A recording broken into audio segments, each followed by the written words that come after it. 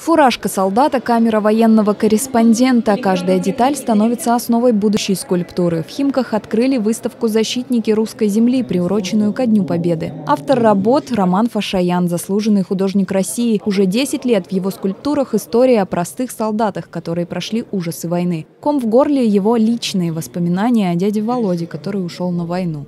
Это был наш сосед, где я рос, круглый сирота. Его призвали в армию в 41 году, он пошел воевать. Вот, освобождая Варшаву, потерял ногу, да, и в жизни ничего не видел, и умер, и ушел из жизни этого. И я, прошло 50 лет, и я думал о нем всегда, вы знаете. В торжественном открытии приняли участие коллеги Фашаяна, ученики и представители власти. Мы увидели новые работы Романа Олеговича, например, вот э, «Женские руки». Он хотел показать, как э, женщины строили это все, насколько это было тяжело и в военное время. Также на выставке представили свои картины ученики Романа Фашаяна. Мастер провел конкурсный отбор среди двух тысяч работ. Почти 30 из них стали частью экспозиции.